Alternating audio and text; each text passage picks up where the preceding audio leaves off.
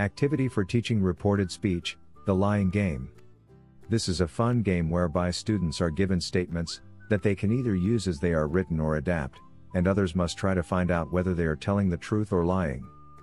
There is a similar game that's popular on UK TV called Would I Lie to You? For example, a student may take a slip of paper with my brother is a pilot, and can either say this or something similar of their own choice, such as my brother is a brain surgeon. Other students then take turns to ask natural questions in any tense to find out more information, such as where did he study? And then say whether they think the statement is true or false by saying something using reported speech.